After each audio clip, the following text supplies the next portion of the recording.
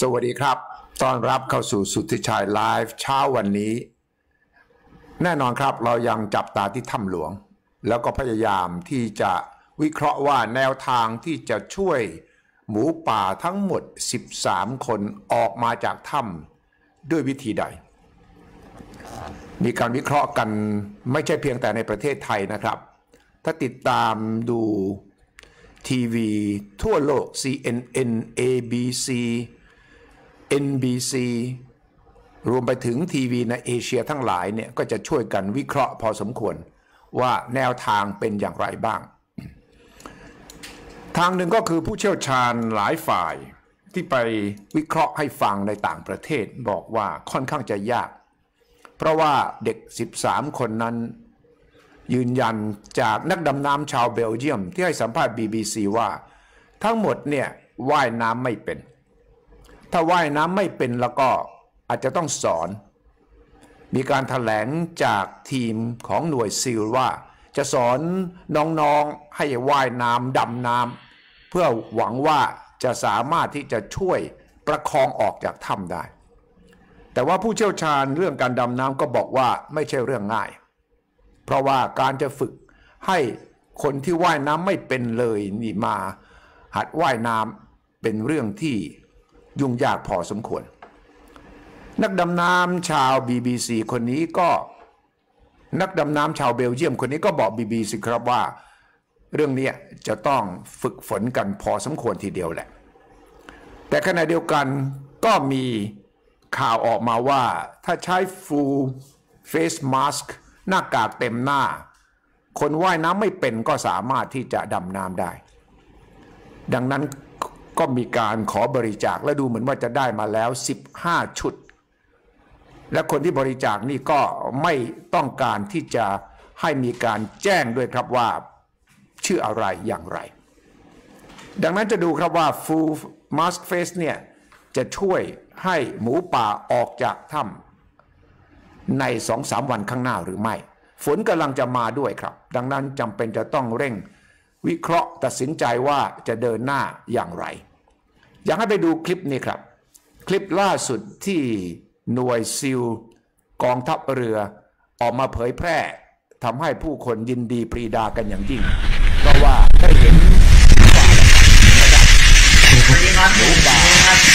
สุขภาพดียืนยันกันพอสมควรเมื่อคอยที่ใส่นี้ก็เพื่อที่จะกันหนาวนะครับว่าเด็กๆก็ยกมือไหว้ทักทาย เพราะว่าที่จากหน่วยซีลเนี่ยนี่ครับนิดหน่อยสุขภาพดีครับสู้แ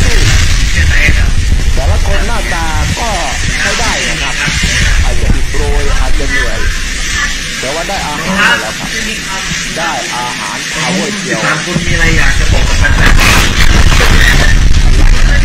ผมด้วยเอาเจ๊ที่นั่งก่อนมีมีผมด้วยไหม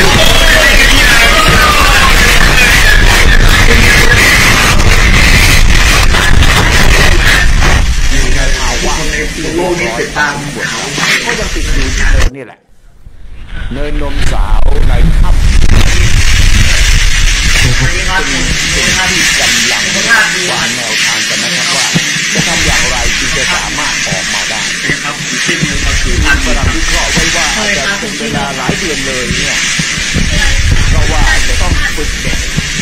จับตัว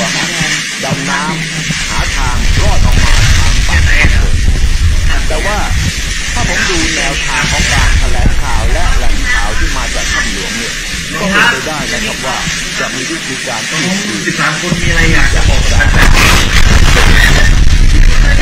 ผมด้วยเอาเจ๊ที่นั่งก่อนมีผมด้วย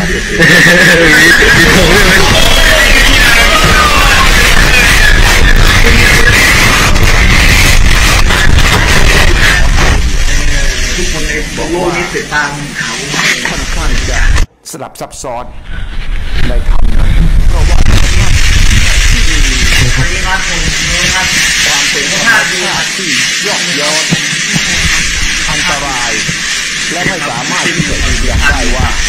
ถ้าหากน้ำจะอยู่ในระดับนี้แล้วเนี่ยการพาหมูป่าออกเนี่ยจะสะดวกหรือไม่ถ้านี้อยากจะให้ดูครับเพื่อจะได้ เป็นครั้งแรกที่เด็กๆนั้นมีความเคลื่อนไหวพูดคุยและอีกภาพหนึ่งเป็นภาพที่เราคุณมีอะไรอยากจะบอกแฟนผมด้ยเอาโอเคที่นั่งก่อนเอายาไปทาเท้าของเด็ก เพราะว่าเด็กนี่เท้านี่เจ็บ เพราะว่าแน่นอนครับโดนโขดหินบ้าง โดนแนวทางต่างๆ ที่ทำให้เป็นแผลได้ คุณหมอภาคก็เลยจึงช่วยทายานะครับ ผมจะให้ดูคลิปนี้ครับ นี่ครับ นี่ครับ เอายาทาให้ที่เท้าของเด็กๆ เพราะว่าเจ็บปวดพอสมควรทีเดียวถามว่าเจ็บไหม ทุกคนก็อดทนครับไม่เจ็บบอกว่า นี่แหละทรัพยากรมีจำกัด ฉะนั้นทายาแค่นี้ไปก่อนเดี๋ยวออกไปข้างนอกถ้ำเนี่ย ก็จะได้เจอกับพยาบาลที่จะมีวิธีการรักษาเต็มรูปแบบ นี่ครับคุณหมอภาค ตรงไหนตรงไหนนะครับ ทายาส่วนใหญ่ก็เป็นเป็นเป็นที่ร่องเท้าเนี่ยแหละครับ จะเห็นนะครับนี่ครับ เจ็บเพราะว่าจะต้องเดินคงจะอยู่ในนี้ตั้งสิบวันแล้วเนี่ยครับ พอน้ำระดับน้ำขึ้นเนี่ยก็ต้องหลบลี้นี่ตรงเขาตรงแข้งนี่ โดนหมดเลยครับ ส่วนใหญ่จะมีแผลอยู่บริเวณ ตรงขาผมไม่ถูกแล้วครับทรัพยากรจำกัดอ่าทรัพยากรจำกัดนะครับ คุณหมอภาคบอกกับเด็ก ๆ เด็ก ๆ ก็บอกว่าไม่เจ็บครับ แต่ความจริงก็คงจะมีอาการพอสมควรบอกยิ้มหน่อยหมอบอกยิ้มหน่อย เพราะว่ากล้องของหน่วยซิล พยายามจะถ่ายเพื่อจะส่งคลิปนี้ออกมา ให้คนไทยทั้งหลาย ชาวโลกทั้งหลายที่ติดตามข่าวนี้อย่างใกล้ชิดเนี่ยจะได้มีความรู้สึกว่า นี่คือข่าวดีสุดยอดเลยครับ เราเห็นสีหน้าท่าทางหน้าตาของหมูป่านี่ค่อนข้างจะรอดจากอันตรายแล้วล่ะ ความหวังตอนนี้ก็คือว่าทำอย่างไรฟื้นฟูสุขภาพ ฟื้นฟูสภาพจิต และสามารถที่จะนำตัวออกมานี่ครับเป็นคลิปที่อยากจะแชร์กับทุกๆทท่านที่กำลังติดตามอยู่ขณะนี้รอบๆโลกทีเดียวครับ พูดถึงวิธีการจะเอาเด็กเข้ามาเนี่ยทีวี ABC ก็สัมภาษณ์ผู้ประสานงานของ U.S. National Cave Rescue Commission เป็นกลุ่ม ที่เป็นผู้เชี่ยวชาญด้านการช่วยเหลือคนที่ติดอยู่ในถ้ำบอกว่าการดำน้ำในถ้ำเนี่ยเป็นเรื่องที่ต้องใช้ทักษะอย่างยิ่ง และเป็นอันตรายอย่างยะอย่างมาก โดยเฉพาะสำหรับคนที่ดำน้ำไม่เป็น หรือไม่ได้รับการฝึกฝนทางที่ดีกว่าการพยายามจะสอนเด็กดำน้ำเนี่ยนี่คือนาย แอนมาเมอร์ซาซึ่งให้สัมภาษณ์ ABC นะครับ บอกว่าถ้าหากให้เลือกระหว่างที่จะสอนเด็กให้ดำน้ำเพื่อจะออกมาจากถ้ำกับการที่จะพยายามส่งสเสบียงเข้าไป ให้สุขภาพดีขึ้น แล้วก็รอจังหวะที่สามารถที่จะให้น้ำลดลงแล้วก็ออกมาจะง่ายกว่า นี่เป็นแนวคิดทั้งโลกนี้ช่วยกันวิเคราะห์อยู่ขณะนี้นะครับ นักดำน้ำอังกฤษสองท่านเนี่ยที่เป็นข่าวไปแล้วละ่ะฮือฮาไปแล้วล่ะนะครับ บางคนก็บอกว่าข่าวว่าสองท่านนี้คือริกกับจอห์นเนี่ยได้กลับกลับไปแล้วมีภาพว่าไปถ่ายที่สนามบินเชียงรายกลับแต่ขณะเดียวกันก็มีข่าวอีกกระแสหนึ่งว่าทั้งสองคนเนี่ยความจริงเป็นสามคนนะครับที่เข้ามาช่วยจากอังกฤษเนี่ย ยังอยู่ช่วยในการปรึกษาหารือว่าจะช่วยหมูป่าออกจากถ้ำได้อย่างไร รองประธานของสภาหรือว่าชุมชุมชมรมผู้ช่วยผู้ประสบภัยในถ้ำอังกฤษ ที่นักดำน้ำอังกฤษสองท่านสามท่านเนี่ยเป็นสมาชิกอยู่เนี่ยบอกว่า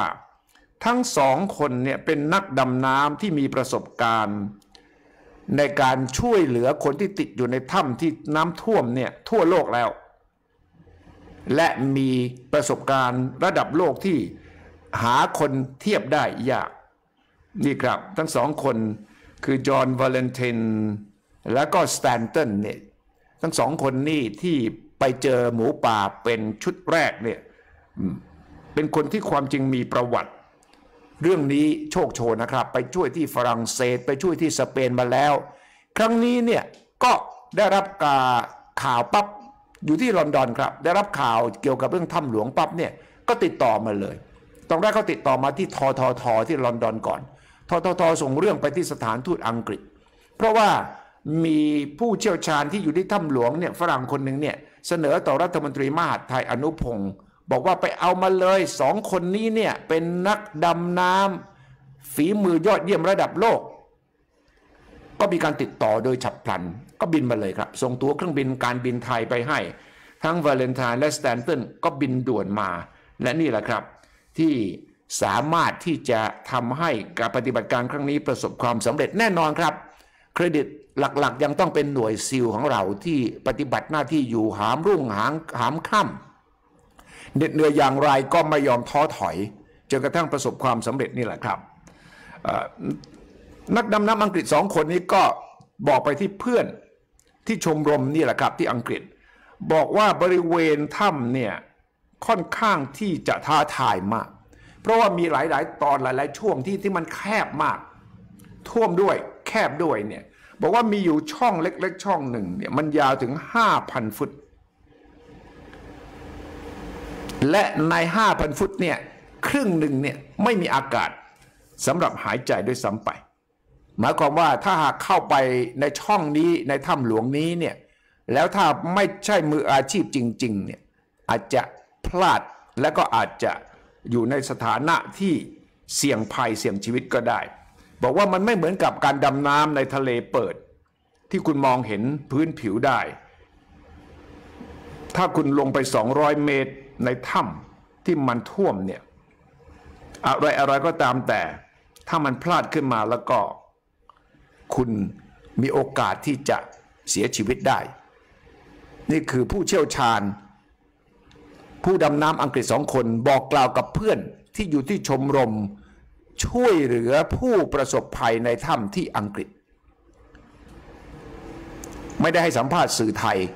แต่ไปแล้วก็ไม่ได้สัมภาษณ์สื่อ ต่างประเทศ แต่ว่าไปเล่าให้เพื่อนฟังและเพื่อนนี่แหละ เป็นคนมาบอกกล่าวกับ ABC News อีกคลิปหนึ่งครับที่น่าสนใจ เป็นคลิปที่นักดำน้ำชาวเบลเยียม ซึ่งก็ไม่เป็นข่าวในประเทศไทยนักแต่ให้สัมภาษณ์ BBC จากถ้ำหลวงต่อสายตรงเข้าไปในห้องส่ง BBC It's ค quite รับ warm in there, นี่ so ครับ about 26เป็น degrees, นักดำ and น้ำ water ชาว is เบลเยีย dripping ม from the walls, ที่ so บอกว่า dehydratation and hypothermia were another issue, เด็กๆ and yeah, หมู kids ป่านี่ usually can survive quite quite long without without food. So they're obviously very skinny and muscle atrophy. Um, there's actually now, as you speak, uh, two Navy SEAL medics uh, went with, to them to um, with, with food and medication to uh, get them back to strength, and then uh, a plan will be decided how to um, extract them from the, from the cave because in the end they are 2.3 kilometers inside a very complex cave system uh, issue is that the time is not on, on our side because um, uh, they're expecting heavy rains within three days. And yes, and the cave system would just flood and make access impossible um, the kids. So what you're saying is those kids could be there for weeks to come yet until they're strong enough or until the water subsides. yes, indeed. So there's two volunteer um, Navy SEAL doctors that actually yeah, sacrifice themselves to stay with the kids up to three to four months until the water recedes. It's an extraordinary story. Tell us, uh, have you heard anything from the parents yet? This must be the, the answer of many prayers tonight. Um, it, it's a big party on the side, really. Uh, everybody's congratulating each other. And of course it's a, it's a very happy moment, and, and there's handshaking. And, uh, but now the, the real hard work comes how to how to get these kids out. Because, And just um, ex- yes, none of them can swim or dive, so that's, that's going to be a real challenge. none of them can swim, you said. ข่าวคราวมาจากนักดำน้ำชาวเบลเยียมที่ให้สัมภาษณ์ It's quite warm in there, so about ภาษาอังกฤษ26และ degrees, BBC ไทยนี่ and water is dripping from the แปล walls. So มาให้ฟังอีก dehydration and hypothermia were another issue, and the kids usually can survive quite, quite long without without food. So they're obviously very skinny and some muscle atrophy. Um, there's actually now, as I speak, uh, two Navy SEAL medics uh, went to them to um, with with food and medication to get them back to strength, and then uh, a plan will be decided how to um, extract them from the from the cave because in the end they are 2.3นัก kilometers ดำน้ำชาวเบลเยีย inside ม a very ตอนนี้ไป complex ก็ cave ต้องวาง system. แผนว่าจะเอาเด็กเนี่ย Uh, the issue is that the time is not on, on our side because um, uh, they're expecting heavy ทุ rains กคน within three ที่ days, เกี่ยวข้อง and วันนี้เราคงจะได้ยินแถลงข่าวครับ ว่าวิธีการที่จะเอาเด็กออกมาจากถ้ำนั้นจะทำอย่างไร แต่ว่าที่น่ายินดีก็คือว่าเมื่อมีการพูดถึง full face mask บอกวิธีหนึ่งก็คือว่า ถ้าหากเด็กว่ายน้ำไม่เป็นดำน้ำไม่เป็นเนี่ยทางผู้เชี่ยวชาญของหน่วยซิลบอกว่า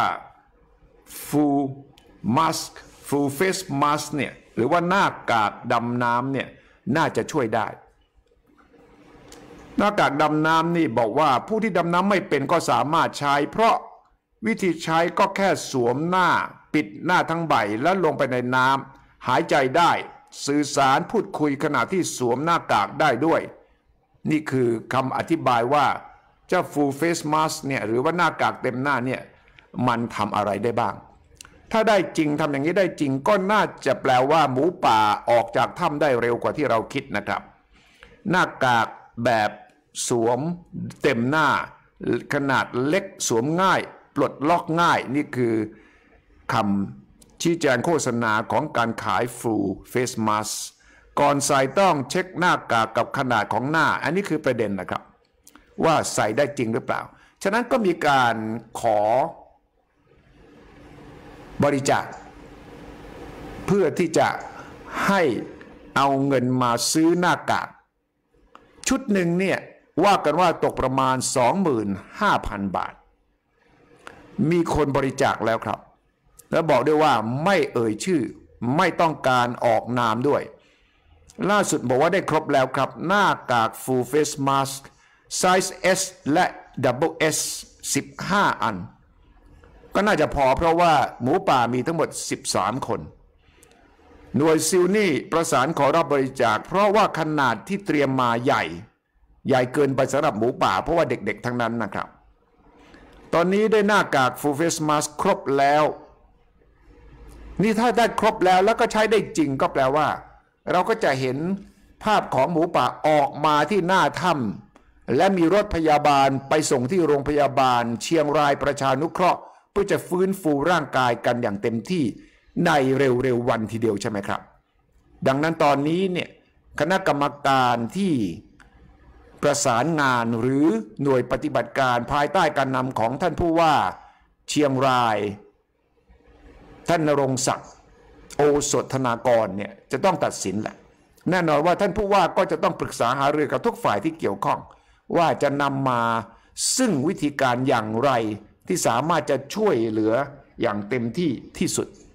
ผมเชื่อว่าเราคงจะได้ข่าวดีในเร็วๆนี้ครับ ภาพที่เห็นคลิปที่ออกมาน่าชื่นใจตรงที่ว่าเราได้เห็นเด็กๆ มีอาการยิ้มแย้ม ถูกพี่ๆหน่วยซิล บอกว่าสู้ชูนิ้ว ชูสองนิ้ว และคุณหมอภาคที่ดำน้ำด้วยและเป็นแพทย์ที่ดำน้ำเก่งมีประสบการณ์ที่สุดเนี่ยขึ้นไปอยู่กับเด็กแล้วครับ เอายาไปทาแผลของเด็กๆ ที่บริเวณเท้าที่แข้งเพราะว่าสิบกว่าวันที่ผ่านมาเนี่ยเชื่อว่าต้องหนีน้ำท่วมในถ้ำกันชุนลมุนทีเดียวแหละ เรี่ยวแรงก็ไม่มี อาหารการกินก็ไม่มี ข้างในก็มืดมิดสนิท มีไฟฉายก็ต้องแบ่งกันใช้ เปิดกันทีละคนเพื่อจะให้อยู่รอดได้ และมีคนส่งข่าวออกมาด้วยนะครับว่าอาจารย์เอกหรือว่าโค้ชเนี่ยที่ชื่อเอกเนี่ยความจริงไม่ได้พาเด็กเข้าไป อันนี้ต้องตรวจสอบหลังจากที่ความจริงปรากฏออกมาแล้วนะครับ ว่าความจริงโค้ชเอกเนี่ยไม่ใช่เป็นคนพาเด็กเข้าไปในถ้ำจนกลายเป็นผู้ประสบภัย แต่ว่าถูกตามตัว หลังจากที่เด็กเข้าไปเองแล้วมีการส่งข่าวออกมาว่าติดอยู่ในถ้ำโค้ชก็เลยวิ่งจากสนามฟุตบอลเข้าไปตามหาเด็ก เจอเด็กและก็พอดีฝนตกหนักน้ำท่วมถ้ำก็เลยติดเข้าไปด้วยข้อเท็จจริงเป็นอย่างไรนี่ยังต้องตรวจสอบกัน เพราะว่ามีคน ตำหนิติเตียนโค้ชว่าพาเด็กเข้าไปได้อย่างไร แน่นอนตอนนี้ก็มีการพูดกันครับว่า ถ้าเด็กออกมาแล้วเนี่ยไม่ควรที่สื่อจะไปแย่งตัวกันมาสัมภาษณ์ เพราะว่าสภาพร่างกายสภาพจิตใจของเด็กเหล่านี้ยังไม่อยู่ในภาวะที่จะตอบคำถามต่างๆ หรือว่ามีการมารุมมาตุ้ม มีการลุ้นกันแล้วว่า ทีวีช่องไหนจะแย่งตัวไปสัมภาษณ์ก่อนใคร ถ้าทำเช่นนี้แล้วก็เสียหายครับ สื่อเองก็จะต้องมีการจัดระเบียบร่วมกัน ถ้าหากทำก็ควรจะเป็นอย่างที่สภาหนังสือพิมพ์ออกมาแนะนำว่า ควรจะให้เป็นการทำพูและนักจิตวิทยาก็แนะนำแล้วว่า เด็กออกมาจากถ้ำใหม่ ๆ ไม่ควรจะให้สัมภาษณ์ ไม่ควรที่นักข่าวจะมาซักไซไล่เดียง ควรจะรอจังหวะจะคน ให้เรียบร้อยเสียก่อน และก็ไม่ควรจะเป็นการยื้อแย่งตัวเด็กๆไปสัมภาษณ์ เพราะว่าถ้ามีทีวี 20 กว่าช่องแล้วก็แย่งกันไปวาดภาพดูสิครับว่าจะเกิดความชุลมุนวุ่นวายอย่างไร เพราะว่าเด็กเหล่านี้ไม่ใช่เป็นดารา ไม่ใช่เป็น celebs หลายคนก็บอกว่าไม่ควรจะเรียกเด็กเหล่านี้ว่าฮีโร่ด้วยซ้ำไป เพราะว่ามองอีกแง่หนึ่งก็คือเป็นผู้สร้างปัญหามองอีกแง่หนึ่งก็คือเป็นเด็กๆ ไม่รู้ถูกรู้ผิด อาจจะ ด้วยความฮึกเหิม คึกขนองเข้าไปในนั้น ดังนั้นหลายคนก็เตือนนะครับว่าอย่าปฏิบัติต่อเด็กเหล่านี้ เวลาออกมาเหมือนกับว่าเป็นวีระบุรุษ เพราะว่าเด็กจะเข้าใจผิด แต่ก็ไม่ควรจะลงโทษหรือว่ากล่าวหาเด็กมากเกินไป เพราะว่าเข้าไปอยู่ในนั้นเนี่ยก็ด้วยความไม่ตระหนักไม่รู้หรอกว่าอันตรายมันคืออะไร แล้วอยู่ในถ้ำเก้าวันสิบวัน จนถึงขณะนี้ก็ยังไม่รู้ว่าจะออกมาได้เมื่อไหร่ ก็ถือว่าเป็นการลงโทษไปในตัวที่น่าจะพอสมควรแล้วแหละครับ ทุกแง่ทุกมุมเนี่ยเราต้องจับตาดูแล้วก็ต้องพิจารณาใช้ดุลยพินิษอย่างเป็นธรรมอย่างเปิดกว้างขณะเดียวกัน ก็ให้ทุกอย่างเนี่ยเหมาะสมผู้ที่เกี่ยวข้องในเรื่องนี้จำเป็นอย่างยิ่งครับ ที่จะต้องให้การกลับบ้านออกจากถ้ำของหมูป่าเป็นไปอย่างเรียบร้อยที่สุด ท่านผู้ว่าเชียงรายก็ยืนยันว่าสำคัญที่สุดคือต้องปลอดภัย และต้องให้เด็กๆ กลับสู่ภาวะปกติโดยเร็วที่สุด ส่วนบทเรียนทั้งหลายแหล่เป็นอย่างไรเราจะต้องค่อยๆ วิเคราะห์สรุปและทำให้เหตุการณ์ถ้ำหลวงครั้งนี้ ซึ่งแน่นอนผมเชื่อว่าจะถูกจารึกไว้เป็นตำนานเล่าขานในประวัติโลกเรื่องของการอยู่รอดอย่างมหัศจรรย์หรือปาฏิหาริย์ ที่เขาเรียก Amazing Survival Stories ซึ่งปรากฏในบันทึกระดับโลกมาตลอดถ้ำหลวงนี้ผมก็เชื่อว่าจะเป็นบันทึกตำนานเล่าขานเรื่องของมหัศจรรย์ว่าเด็กติดเข้าไปในถ้ำรอดมาได้อย่างไรหลังจากอยู่ในนั้น 9 วัน 10 วัน และรายละเอียดว่าจะเอาออกมาอย่างไร รายละเอียดว่าถ้ำหลวงมีความสลับซับซ้อนอย่างไร และการปฏิบัติการของ หน่วยซิลของกองทัพเรือรวมไปถึงผู้อาสาสมัครผู้เชี่ยวชาญ ช่วยเหลือผู้ประสบภัยในถ้ำจากทั่วโลกมาช่วยกันเนี่ยเป็นเรื่องราวแห่งความสุข ความประหลาด มหัศจรรย์ที่คนไทยทุกคนจะต้องช่วยกันให้เป็นเรื่องราวทางสร้างสรรค์ ที่จะเป็นบทเรียนให้กับทั้งคนไทยและทั่วโลกครับ ขอบคุณทุกท่านที่ติดตามอีกสักครู่นะครับ เราจะ วิเคราะห์ข่าวล่าสุดจากมาเลเซีย เมื่อสักครู่นี้เองครับ ร้อนๆภาพมาแล้วครับ อดีตนายกรัฐมนตรี นาจีบราซากขึ้นศาลเพราะโดนข้อหาโยงใยกับคอร์รัปชันครั้งมโหฬารของกองทุน 1MDB ของมาเลเซีย อดีตนายกรัฐมนตรีมาเลเซียกำลังจะถูกตั้งข้อหา และกำลังจะถูกจับ อาจจะมีภาพเข้าไปอยู่ในห้องขังก็ได้นะครับ อีกสักครู่ครับ